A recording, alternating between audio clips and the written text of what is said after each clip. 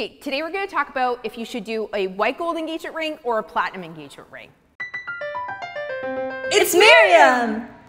When it comes to white gold, we can do 10 karat, 14 karat, or 18 karat. Anything above 18 karat is just way too soft for an engagement ring, and so we really are gonna keep it within 10, 14, 18. Okay, so white gold is actually plated in rhodium. Rhodium is like a liquid metal in the platinum family. That's what gives white gold its nice white lustrous finish. Some people are a little bit thrown off by the fact that they might have to replate their ring. Keep in mind, fine jewelry really should be maintained, and replating only needs to be done every few years. Where you're gonna really see the plating wearing off is gonna be at the bottom of the ring, because that's what takes the most wear and tear. The difference between 10 karat, 14 karat, or 18 karat really just comes down to the gold composition.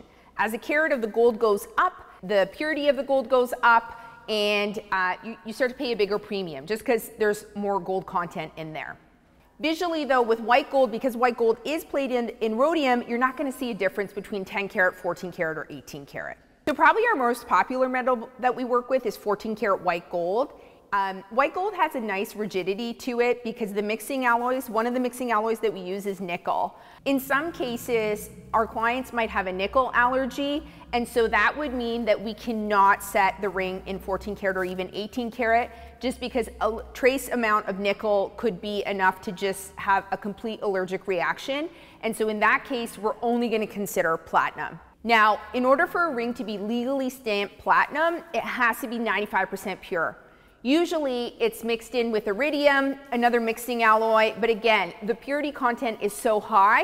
And so if we have any allergy issues or sensitivity issues, platinum is an amazing option. So white gold is really great if you're looking for a ring that has a nice white lustrous finish. That's really coming from the rhodium. Um, if you want a precious metal that's also more durable, I would probably recommend white gold. Probably 14 karat white gold is our most popular.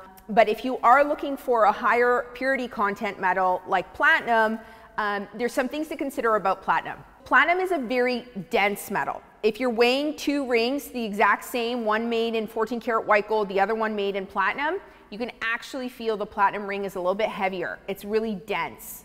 Now, because it's dense, a lot of times clients will misunderstand this to mean that it's the strongest metal. It's actually dense, but it's softer on the surface. You're gonna see more nicks and scratches on a platinum ring versus a white gold ring. Again, just, just due to the nature of the, the metal itself. The other thing to consider, you're gonna pay a bigger premium for platinum versus white gold just because the, the material purity content is way higher than, than white gold. Because even at 18 karat, we're at about 75% gold, um, whereas platinum, it's 95%. Um, so you're gonna be paying more for the material costs.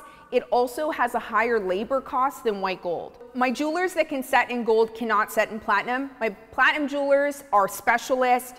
They know how to work with it. It's at higher temperatures and platinum jewelers can also work on gold. Here's the other thing that's the biggest difference between uh, white gold versus platinum. So platinum does not have to be plated like white gold. White gold, remember, it's plated in rhodium. So rhodium is that liquid metal that gives white gold its nice white lustrous finish. Platinum doesn't have to be plated. It is a white metal, but it's more of a white gray metal. So platinum is great for my clients that want more of a vintage vibe to it, more of a gray white metal instead of the white white metal that you might find on a white gold ring. I also find a lot of my male clients love it for their wedding bands because it's gonna take on a more distressed look and it really becomes a creation of the wearer. So there you have it the difference between a white gold or a platinum engagement ring. We'd love to show you the differences. Like we say with anything and everything, you need to compare it for yourself, take a look at it side by side, same environment, different lighting conditions, and you'll know with certainty which one's right for you.